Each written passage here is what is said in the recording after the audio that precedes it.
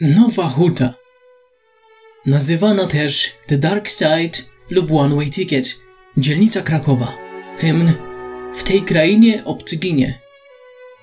Od powstania żąda dostępu do Atlantyku i pierwszoligowego klubu piłkarskiego. Podział. Nowa Huta, po nowej reformie radnych miasta Krakowa, nie jest jednolitą dzielnicą, a konfederacją złożoną z szeregu pomniejszych dzielnic, których nazwy znają tylko mieszkańcy, a i z tym różnie bywa.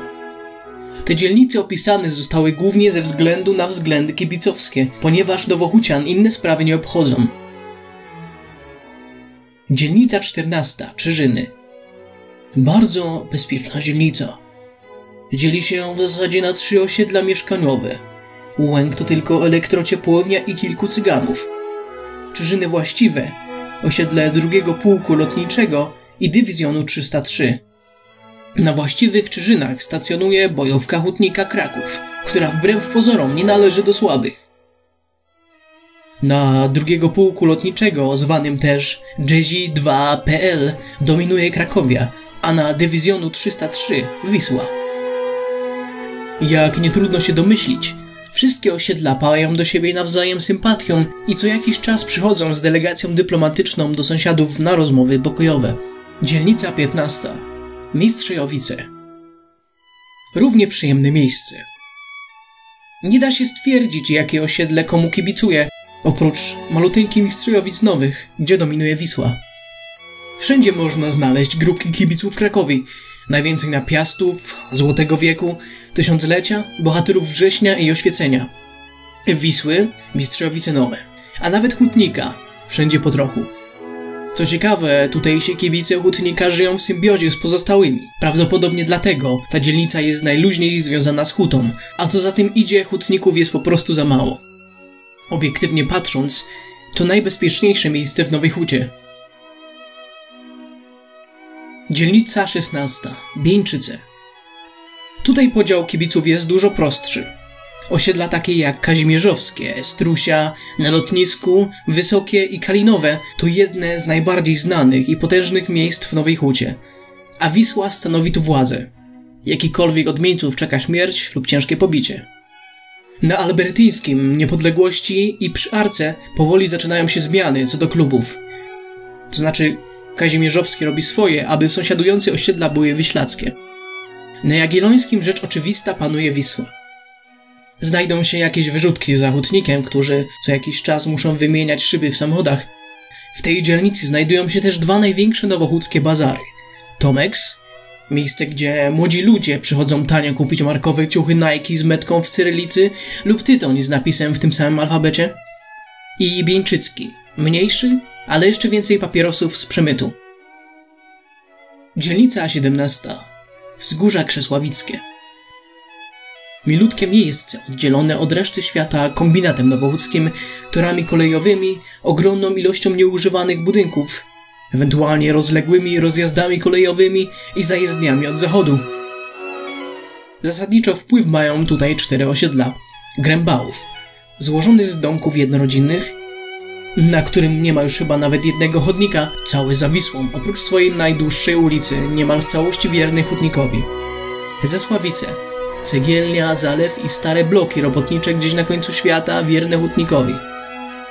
Wzgórza, zwane też WZG, wielkie blokowisko podzielone strefami wpływów pomiędzy Krakowią a Hutnikiem, które żyją w umiarkowanej harmonii jednocząc się przeciwko Wiśle. Stoki i Bezofiego, Obydwa podzielone między Hutnika a Wisłę, z czego tej drugiej jest więcej, ale proporcje prawdziwych fanatyków są podobne. Jest tu bardzo bezpiecznie.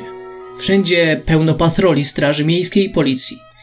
Jeśli nagle z zapagórka wyłoni się 30 bojówkarzy z kijami baseballowymi i maczetami, wszelkie radiowozy odjeżdżają, a patrolujący w terenie po prostu uciekają. Dzielnica 18. Nowa Huta. Stara huta, huta właściwa, ogromna przestrzeń obejmująca duże osiedla blokowe, największy kombinat hutniczy w tej części kraju i wioski położone za nim. Sytuacja kibicowska jest tu bardzo skomplikowana, gdyż osiedli jest dużo, a na każdym sytuacja wygląda inaczej. W skrócie, w dolnej części bloków, e, zwłaszcza na osiedlu na Skarpie, gdzie znajdziemy też szpital Żeromskiego i nieczynne krematorium, znajdziemy zażarcie fanatyczną bojówkę hutnika, prawie bez domieszek. A w górnej hutnika przemieszanego z Krakowią i pojedynczymi wyślakami, którzy jednak nie mają tu wiele do powiedzenia. Za kombinatem układ sił jest totalnie rozproszony. Można rzec, że każdy klub ma swoje 33%. Podsumowując, Nowochucianie są asertywnymi ludźmi, ale kochają się różnić między sobą. Prawie żadne osiedle nie ma być prawa jednolite, gdyż groziłoby to zanikaniem folkloru, nudą i brakiem możliwości działania zorganizowanych bojówek kibicowskich, o których co jakiś czas przypominają media, gdy przez przypadek jakaś niezdarna ekipa zapomni wsadzić ciała do bagażnika i odjechać gdzieś na bagna. Są też przyjaźnie nastawieni do turystów i ciekawi świata. Jeżeli nikogo nie znasz w hucie i chcesz się tam zapuścić, przygotowaliśmy dla ciebie. Mieszkańcy. Mieszkańcy zwani czasem hutasami domagają się powrotu pomnika towarzysza Lenina na Aleje Róż. Kibice miejscowego klubu okradają z batoników i proszków od bólu głowy stacje benzynowe, nieostrożnie usytuowane na drodze ich przyjazdu. Bardzo ciekawym zjawiskiem są rdzenni mieszkańcy Nowej Huty w tradycyjnych strojach ludowych, popularnie zwani dresami. Poza tym mieszkańcy są bardzo mili i gościnni. Po zapaleniu fajki pokoju załatwią ci darmowy dojazd karetką na sygnale. Dziennikarzy Nosy Sopedii wysłaliśmy do Nowej Huty. Niestety nie dowiedzieliśmy się wniosków, ponieważ najwidoczniej mieszkańcy byli tak mili i tak ich ugościli, że już nie wrócili, a wszelka wieść o nich zaginęła. Sport. Dzielnica jest ważnym ośrodkiem boksu, który trenować można nawet wbrew swojej woli. Kariery zaczynał tu m.in. Marcin Urbaś. Uznawana jest za polską wioskę olimpijską, bo większość jej mieszkańców chodzi w dresach. Tutaj także podobno Marcin Najman trenował ucieczki oraz odklepywanie w matę do walki z pudzianem. Edukacja. W dzielnicy znajduje się wiele elitarnych szkół, które ciężko policzyć. Licea są mocno zróżnicowane, aczkolwiek żadne oprócz salezjańskiego swoim poziomem nie wzlatuje ponad przeciętność. Niektóre zaś biją rekordy, jeśli chodzi o fatalne wyniki matur. Technika są jak wszędzie, a uczelnią zasługującą na uwagę jest Wydział Mechaniczny Politechniki Krakowskiej i AWF. Skąd na kilometr czuć zapach bananów i słychać bliżej nieokreślone dźwięki o intonacji podobnej do u, u, u, i, i, i, ha, ha, ha. Życie codzienne. Po sporej przerwie od okresu nagonki na nową hutę w mediach, przykład program pod napięciem na tvn rozpoczęto działania w celu rozwinięcia życia kulturalnego. I widać to przykład po odmalowanych blokach, wymienionych chodnikach i odmalowanych ławkach, na których blokersują się mieszkańcy. Młodzi siedzą z maczetami, czekając na przeciwnika, którym może być właściwie każdy, i słuchają elorapsów z ich terenów. W wolnym od pracy czasie nowohutasy szukają ekstremalnych miejsc do zaparkowania swoich aut. Dachy domów, drzewa, ściany bloków już nikogo nie dziwią. Próby wjechania do piwnic są w toku. Kuchnie w nowochódzkich mieszkaniach są tak wąskie, że szafki pod zlewozmywakiem otwierają się do wewnątrz. Ciekawostki.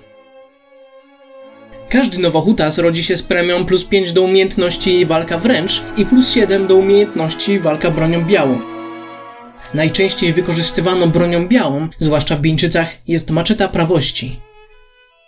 Chodzą pogłoski, iż to jeden z mieszkańców Nowej Huty dokonał zakupu i jest obecnie w posiadaniu oryginalnej maczety Jana Pawła II, mającej premię do ataku i obrony. Wszystkim pozostałym mieszkańcom Krakowa na słowa Nowa Huta puszczają zwieracze. Nową hutą od dawien dawna zainteresowani byli przybysze z innych krain, głównie samobójcy uprawiający coraz popularniejszy w tych kręgach sport ekstremalny zwany zwiedzaniem Nowej Huty. Prowadził tam badania sam Konfucjusz, który po uderzeniu w głowę cegłą przez moherkę stwierdził Ta nowa huta to wspaniałe miejsce jest. Stąd maksyma treści następującej. Konfucjusz mówi W Kraków nie ma blokersów. Są tylko rdzenni mieszkańcy Nowej Huty w strojach ludowych. Nową hutę wpisano niedawno do listy światowego dziedzictwa UNESCO. Huta została ósmym cudem świata zamiast bursztynowej komnaty. Pochodzi stąd formacja Châtelet, z czego są nie bardzo dumni. Głównym towarem eksportowym Nowej Huty jest wpierdol. Osiedla przy Arce i Albertyńskie nie wiedzieć czemu są nazywane przez tutejszych osiedlami szybkich Adidasów. Najczęstszym powodem śmierci w Nowej Hucie jest zbyt duża ilość żelaza w organizmie. Zazwyczaj jest to nóż lub maczeta. Tutaj podobno ukryto puszkę Pandory. Tutaj podobno ukryto puszkę Pandory. Mimo wielu prób otwarcia, puszka nadal nie pozwala się odemknąć, bo twierdzi, że już na nic nowego nie ma w niej miejsca.